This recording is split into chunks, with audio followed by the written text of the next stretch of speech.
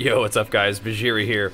So this is going to be a fun video, and it's going to be answering a question that I see a lot on stream, and in the comment section of the YouTube videos, which is, what is your transmog? So those questions range from what is your transmog weapon, or how did you get those shoulders, or what is that enchant on your weapon, and so, one, this allows me to show off what I consider to be my signature transmog, and my favorite transmog which is what I call the Iron Nightmare version 2. so, we, we used to have the Iron Nightmare version 1, now we've updated it a little bit over the past years or so.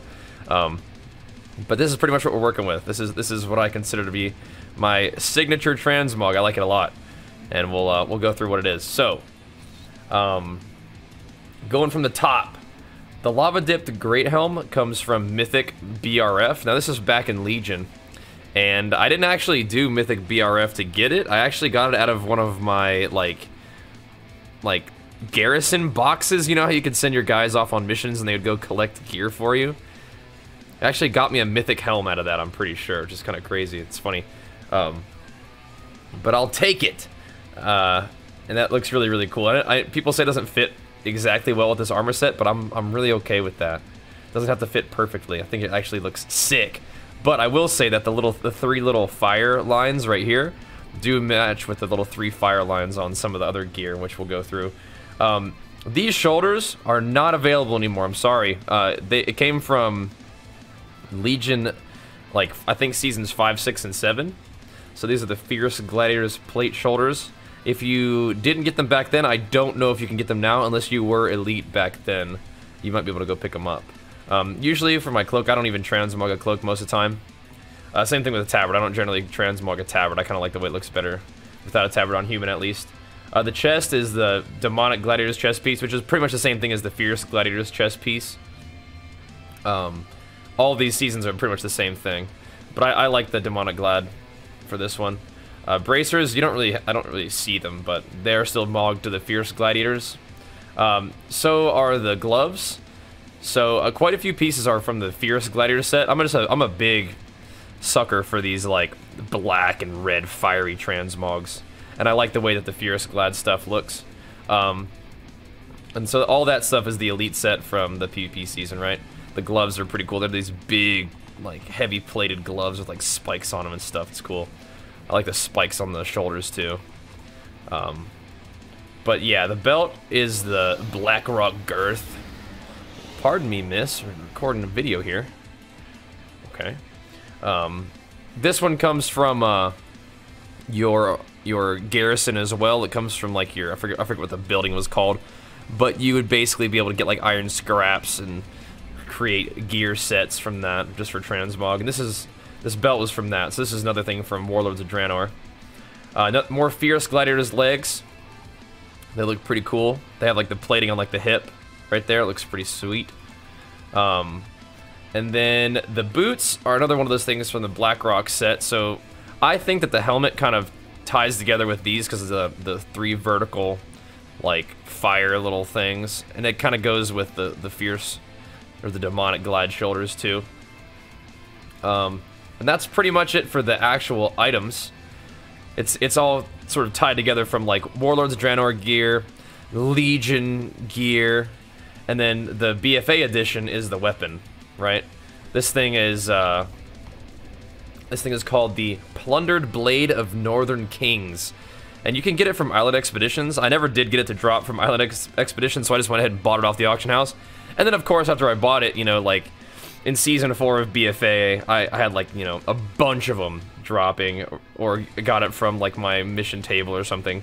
So I was able to sell a couple of those back and give some to the viewers and stuff, which is cool because it's a really sweet looking weapon, probably one of my favorites.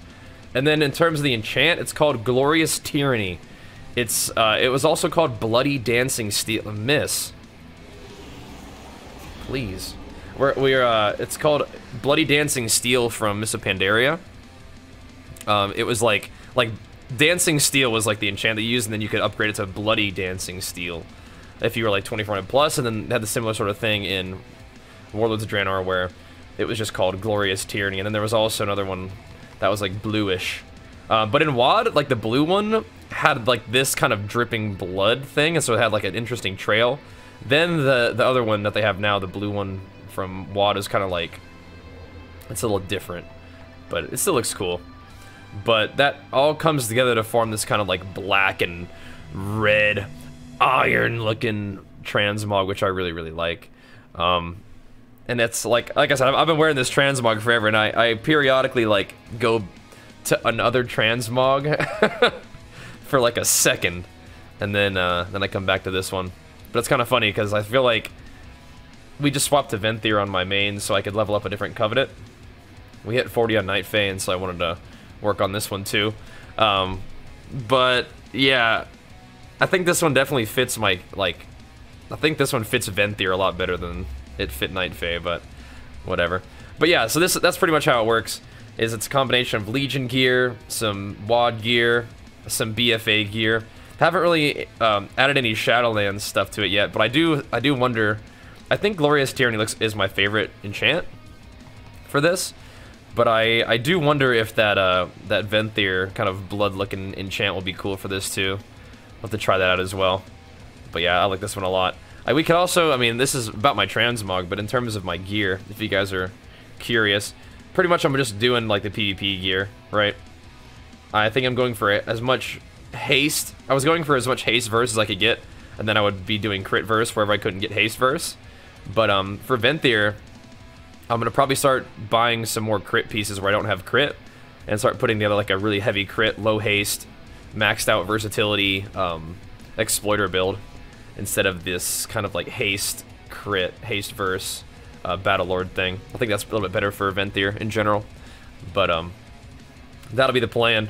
But, but I, I, definitely have that going on my Horde Warrior though. But instead of focusing on like a bunch of different transmogs, I'll show you guys my favorite transmog. Although this, uh, I don't think I, that that one lady was able to go through the door. Am I able to go through the door? No. Anyway, but I, I was uh, I wear this transmog right now with uh, the the Sinful Gladiator's Soul Eater mount, which ends up going really well together. So if you guys see me on stream or in videos and BGs running around or running around an arena, you'll see me wearing this transmog with this mount. And like I said, I'm, I'm, a, I'm a big sucker for this like black and red motif. So, been enjoying this expansion a lot so far. and I'm glad that we were able to pick up another really cool mount to go with it. Um, but hopefully this answers some of the questions about my transmog.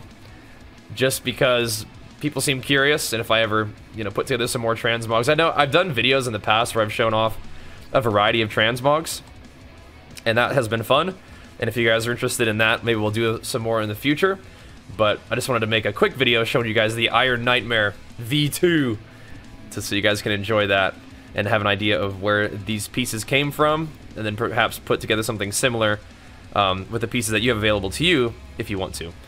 But thanks so much for watching, guys. Thanks you, thank you for your continued uh, continued support on the YouTube channel, on the Twitch stream, on all of our platforms, helping grow our community and continue to progress this project as we've been doing for 10 years plus now. Pretty wild. Let's keep kicking butt together, and we'll see you guys next time. Thanks, guys. Peace.